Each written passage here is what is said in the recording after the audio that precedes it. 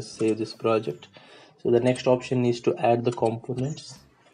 So to add the components we need to first create the components. So how do we create the components? The creating components will come under the library section. You can see this is the library option. So you can create your own library uh, using uh, the library options. Otherwise uh, you have to go to the library. So there is a place part here. If you click on the place part you can see the libraries option here so here if you browse it you can see your browsed library main global location. So this is a global location of the library. It will be there in the c drive cadence spb 17.2 tools capture and then library.